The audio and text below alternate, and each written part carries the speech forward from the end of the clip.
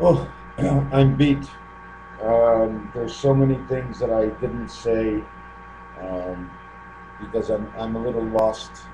I said it too fast. I have no secretary going over what I've done. I've explained it right. There's just so much. There's really no time to look over it. And usually they say, well, a good businessman looks over it. In this situation, I'm told by Mr. Tacpans to move on, come back to it one day when you're right and you're straight, and then tell the story. Or if you ask the question, I can explain it direct. It will only be one thing to think of. Otherwise, I take it upon myself to think of more than one. Anyways, um, what I'm going to talk to you now is about the four angles. Okay?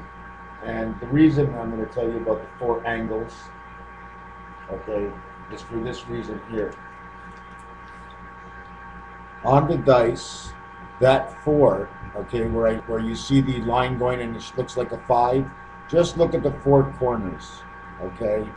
Each one of those corners, okay, is a way of God.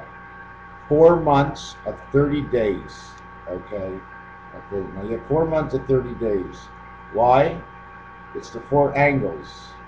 Okay, the other one, God in the center, connects. I'm not. I'm not doing this right. I'm not doing this way. I'm not doing this